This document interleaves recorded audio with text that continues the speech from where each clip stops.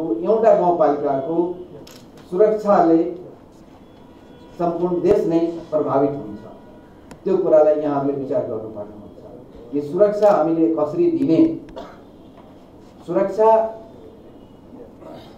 दिँदाखेरि के के हामीलाई स्थानीय स्तरमा अप्नाउनु पर्ने सावधानीहरू र स्थानीय तहमा लिनुपर्ने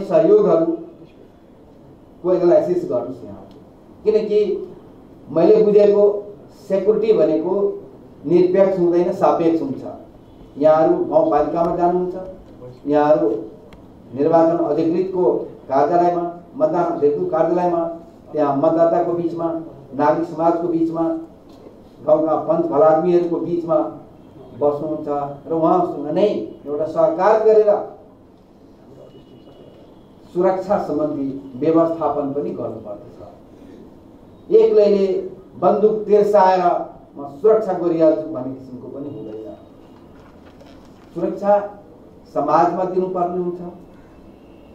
समाजको गलत क्रियाकलापहरूलाई नियन्त्रण गर्नको लागि हामी सुरक्षाको आशा नेपाली जनता, मतदाताहरू सुरक्षाको आशा गरेको हुन्छ एकै चरणमा देशको निर्वाचन सम्पन्न हुन्छ।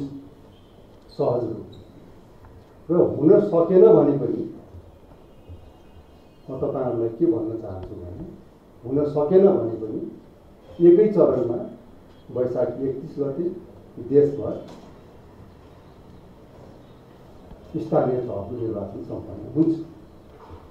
र त्यसको लागि नेपाल सरकारको सुरक्षा निकाय र निर्वाचन आयोग निरन्तर सम्पर्कमा संवादमा छलफलमा र परामर्शमा छौँ।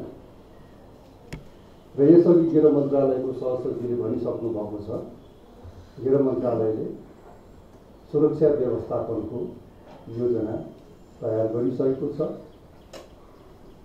र निर्वाचन आयोगमा त्यसको प्रति प्राप्त भइसकेको पनि छ।